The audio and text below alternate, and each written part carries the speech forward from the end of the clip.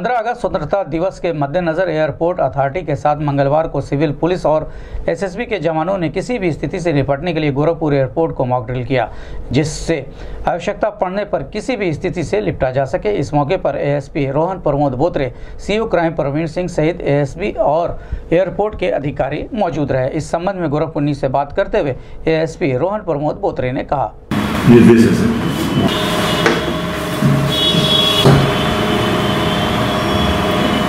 आज air force authorities के साथ एसएसबी के साथ और सिविल पुलिस एक मॉक ड्रिल अरेंज की गई थी। किसी भी ऐसी घटना को के लिए प्रिपरेशन ये करने के लिए हमने मॉक ड्रिल आज अरेंज की थी।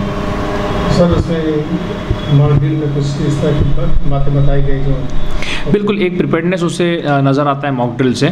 करने का उद्देश्य यही होता है कि एक तैयारी उसमें से नज़र आती है। तो एयरफोर्स अथॉरिटीज़ ने हम लोगों के साथ काफ़ी सारी चीज़ें डिस्कस भी की थी कि किस प्रकार से कोई अटैक होता है तो उसको किस प्रकार से उसको उसका विरोध किया जाएगा। और उसी सिलसिले में एक मॉक ड्रिल ये अरेंज की थी। तैयारी पंद्रह अगस्त को लेकर पंद्रह अगस्त को लेकर